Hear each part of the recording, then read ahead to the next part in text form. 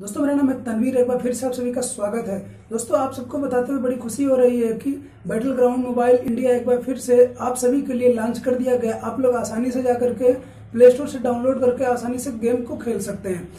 सबसे पहले जब प्री रजिस्ट्रेशन की इसकी घोषणा हुई थी 18 मई में ही बता दिया गया था कि इसके लिए आपको प्री रजिस्ट्रेशन करना पड़ेगा। उसके बाद कुछ चुनिंदा लोगों को यह गेम उपलब्ध कराया गया था। लेकिन अब यह जो है पब्लिकली अलाउ हो गया है। अब कोई भी आसानी से जाकर के डाउनलोड करके इंस्टॉल करके खेल सकता है।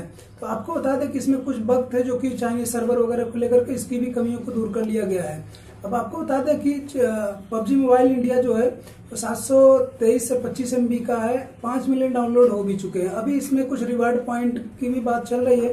जैसे मान लीजिए एक मिलियन, पाँच मिलियन, दस मिलियन जैसे डाउनलोड हो जाते हैं तो इसके यूज़र को कुछ नए फीचर दिए जाएँगे, कुछ पॉइंट्स दिए जाएँगे।